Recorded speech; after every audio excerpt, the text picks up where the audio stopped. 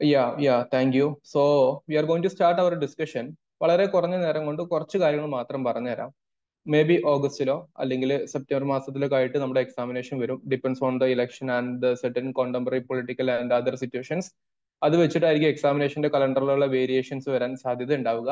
അപ്പൊ ആ രീതിയിൽ കാര്യങ്ങൾ മനസ്സിലാക്കിയിട്ട് നമ്മുടെ മുമ്പിൽ ഡെഫിനറ്റ്ലി ഒരു നാല് മാസം നിങ്ങളുടെ കയ്യിൽ എന്തായാലും ഉണ്ടാവും ഗ്യാരണ്ടീഡ് ആയിട്ട് നാല് മാസം ഉണ്ട് ഇൻക്ലൂഡിംഗ് ദിസ് ഏപ്രിൽ മന്ത് അപ്പൊ നമ്മൾ ഈ കേരള പി എസ് സിയുടെ H S T history examination ഞാൻ പറയുന്നുണ്ട് എപ്പോഴും.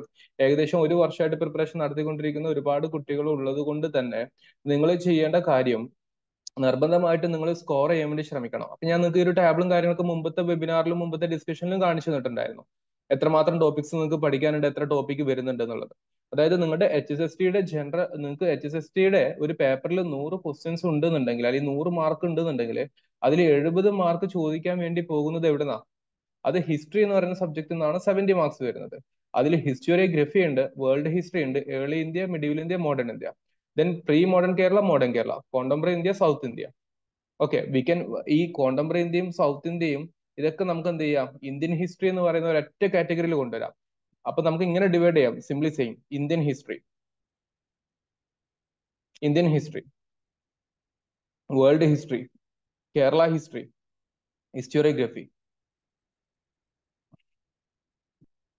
ഇത് നാലുമാണ് നിങ്ങളുടെ പ്രധാനപ്പെട്ട ഏരിയാസ് ഓഫ് ഡിസ്കഷൻസ് എന്ന് പറയുന്നത്. അപ്പൊ ഇതിൽ ഇന്ത്യൻ ഹിസ്റ്ററി മാത്രം നിങ്ങൾ നോക്കിക്കേ. അഞ്ച് മാർക്ക് ആൻഷ്യന്റ് ചോദിക്കും. മിഡീവൽ നിന്ന് അഞ്ച് മാർക്ക് ചോദിക്കും. മോഡേൺ ഇന്ത്യ നിന്ന് പത്തായി.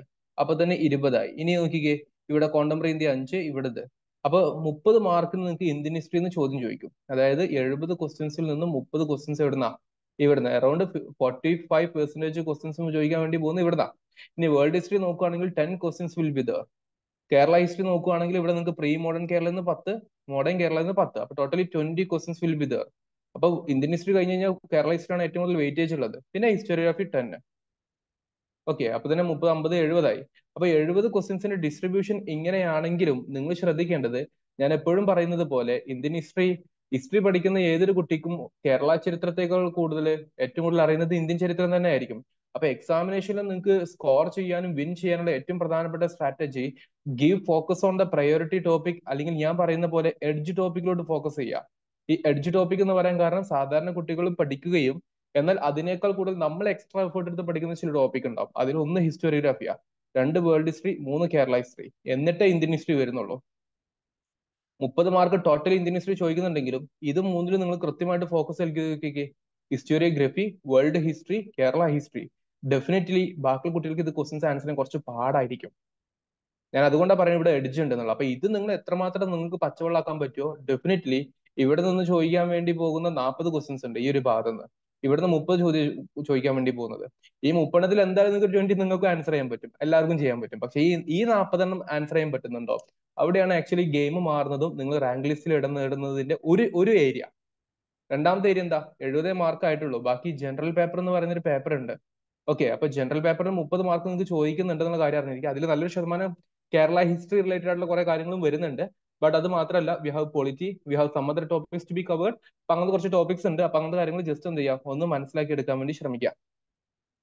അപ്പൊ നിങ്ങളുടെ എഡ്ജ് പോയിന്റുകൾ എന്ന് പറയുന്നത് ഈ ഹിസ്റ്റോറിയോഗ്രാഫിയും വേൾഡ് ഹിസ്റ്ററിയും കേരള ഹിസ്റ്ററിയും പിന്നെ ജനറൽ പേപ്പറുമാണ് ജനറൽ പേപ്പറിനെ നിങ്ങൾ അവഗണിച്ചുകൂടാ ജനറൽ പേപ്പറിന്റെ കോംപ്രഹെൻസീവ് ആയിട്ടുള്ള ലെസൺസ് ഓൾറെഡി നിങ്ങളുടെ ക്ലാസ് റൂമിലുള്ള കുട്ടികൾക്ക് ആപ്ലിക്കേഷൻ വഴി ലഭ്യമാണ്.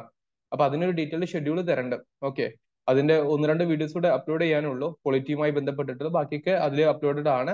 അപ്പൊ അതിന്റെ ഡീറ്റെയിൽഡ് ഷെഡ്യൂൾ തരുമ്പോൾ അതിനായിട്ട് ഇരിക്കുക ഒരു പത്ത് ദിവസം അതിനായിട്ട് ഇരുന്ന് കഴിഞ്ഞാൽ മുപ്പത് മാർക്ക് കിട്ടും. അപ്പൊ അങ്ങനെ നിങ്ങൾ എന്ത് ചെയ്യുക? പഠനത്തെ കൃത്യമായിട്ട് അലൈൻ ചെയ്ത് കൊണ്ടുപോകാൻ വേണ്ടി ഒരു ശ്രമമാണ് നടത്തേണ്ടത്. ഇപ്പൊ ചുരുക്കി പറഞ്ഞു കഴിഞ്ഞാൽ നമ്മൾ ഇനി അടുത്തൊരു മൂന്ന് മാസത്തേക്ക് എന്ത് ചെയ്യുന്നു എന്നുള്ളതിനെ കുറിച്ചാണ് പറയുന്നത്.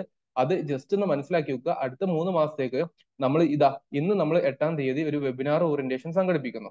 അടുത്ത പതിനഞ്ചാം തീയതി എന്ന് പറഞ്ഞാൽ അടുത്ത തിങ്കളാഴ്ച we are having our crash course start ചെയ്യണം.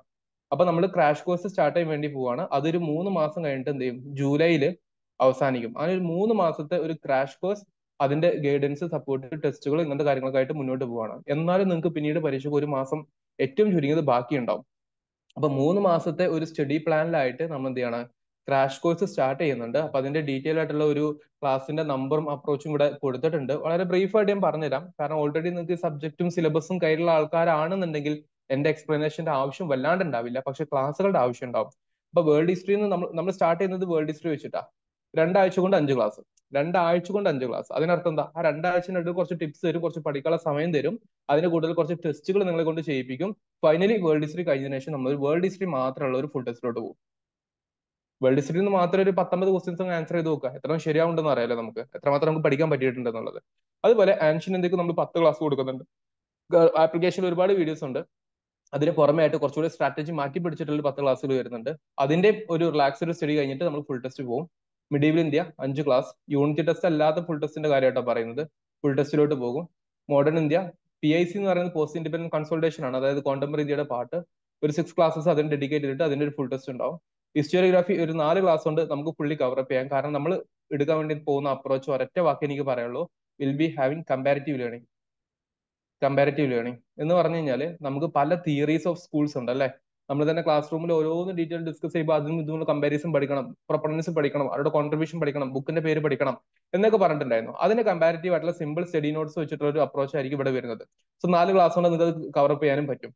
ദെൻ കേരള ഹിസ്റ്ററിയുടെ അഞ്ച് ക്ലാസ്സസ് ഉണ്ടാവും ടോട്ടലി അഞ്ച് ക്ലാസ്സസ് മതിയാകും കാരണം നമ്മൾ സാധാരണ ക്ലാസ് റൂമിലുള്ള ആ ഒരു ഓരോ ടോപ്പിക്ക് ഇൻഡെപ്ത് പഠിച്ചു പോകുന്നതിനേക്കാൾ അപ്പുറത്തോട്ട് നമ്മൾ എക്സാം പെർസ്പെക്റ്റീവിൽ കുറച്ച് ലേണിംഗ് അങ്ങോട്ട് കൊണ്ടുപോകാൻ വേണ്ടി പോകുന്നത്. അതിൽ പ്രധാനപ്പെട്ട kings and contribution scholars approaches fact ഇങ്ങനത്തെ ഈ ക്രോണോളജിക്കൽ ഇവന്റ് അങ്ങനെ എക്സാമിന് ക്വസ്റ്റൻസ് ചോദിക്കാൻ സാധ്യതയുള്ള മെത്തഡോളജിയിലൂടെ പഠിക്കാൻ വേണ്ടി പോകുന്നത്. അങ്ങനെ ടോട്ടലി ദർ വിൽ ബി മുപ്പത് ക്ലാസ്സസ് മുപ്പത് ലൈവ് ക്ലാസ്സസ് ഉണ്ടാവും. അതിന്റെ കൂട്ടത്തിൽ ഓരോ സബ്ജക്റ്റിന്റെയും ഫുൾ ടെസ്റ്റ് ഉണ്ടാവും. ഓരോ സബ്ജക്റ്റിന്റെയും യൂണിറ്റ് ടെസ്റ്റ് ഉണ്ടാവും. ഇങ്ങനത്തെ ഒരു സംഗതിയാണ് ക്രാഷ് കോഴ്സ് എന്ന് പറയുന്നത് ഒരു മൂന്ന് മാസത്തേക്ക്. ഇവിടെ നിങ്ങൾ ശ്രദ്ധിക്കേണ്ട ഒരു കാര്യം ഈ ക്രാഷ് കോഴ്സ് എന്ന് പറയുന്നത് ഞാൻ വളരെ ബ്രീഫായിട്ട് പറഞ്ഞു എന്ന് മാത്രമേ ഉള്ളൂ. ഈ ക്രാഷ് കോഴ്സ് എന്ന് പറയുന്നത് പുതുതായിട്ട് ക്രിസ്റ്റലിന്റെ എച്ച് എസ് എസ് ടി പ്രോഗ്രാമിലോട്ട് ജോയിൻ ചെയ്യാൻ ഉദ്ദേശിക്കുന്ന കുട്ടികൾക്ക് വേണ്ടി കൊടുക്കുന്ന ഒന്നാണ്. കാരണം ഓൾറെഡി നമുക്കറിയാം നമ്മളുടെ ninety plus percentage of classes complete ആയിട്ടുണ്ട് എന്നുള്ളത്.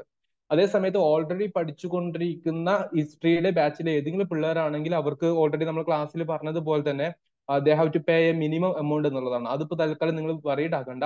പക്ഷെ നമ്മൾ ഈ ക്രാഷ് കോഴ്സിനെ കുറിച്ച് നമ്മൾ we are just charging rupees three thousand ആണ് വരുന്നത്. മുപ്പത് ക്ലാസ്സസ് വരും. മുപ്പത് അതിന്റെ കറസ്പോണ്ടിങ് യൂണിറ്റ് ടെസ്റ്റുകളും ഫുൾ ടെസ്റ്റുകളും വരും. നമ്മുടെ ക്ലാസ്സസ് സ്റ്റാർട്ട് ചെയ്യാണ്. പക്ഷെ നമ്മൾ അതിന്റെ അഡ്മിഷൻ ലിമിറ്റ് ചെയ്യുന്നുണ്ട്. കുറെ കുട്ടികളൊന്നും നമുക്ക് വേണമെന്നില്ല. Just we are focusing on ten students അപ്പോൾ താല്പര്യമുള്ള ആൾക്കാരാണെന്നുണ്ടെങ്കിൽ നിങ്ങൾക്ക് നിങ്ങൾക്ക് ഓഫീസ് നമ്പറിൽ നിന്നും കൃത്യമായിട്ട് അതിന്റെ ഒരു മെസ്സേജ് വരും. അപ്പൊ നിങ്ങൾ അതിന്റെ രജിസ്ട്രേഷനും കാര്യങ്ങളൊക്കെ നടത്താൻ വേണ്ടി ശ്രമിക്കുക. ഇത്രയാണ് എനിക്ക് ഇതുമായി ബന്ധപ്പെട്ട് പറയാനുള്ളത്. അപ്പൊ നമ്മൾ ക്ലാസ്സുകൾ സ്റ്റാർട്ട് ചെയ്യാണ്. കൃത്യമായിട്ടുള്ള ഷെഡ്യൂളും കാര്യങ്ങളും. അതായത് ഓരോ സബ്ജക്റ്റിനായിരിക്കും ഷെഡ്യൂൾ തരുന്നത്. വേൾഡ് ഹിസ്റ്ററി രണ്ടാഴ്ചത്തെ ഷെഡ്യൂൾ റെഡിയാണ് ആൻഷ്യൻ ഇന്ത്യ നമ്മൾ അടുത്ത മാസം ആൻഷ്യൻ ഇന്ത്യയും മിഡിവിൽ പക്ക ഫോക്കസ് ചെയ്യും.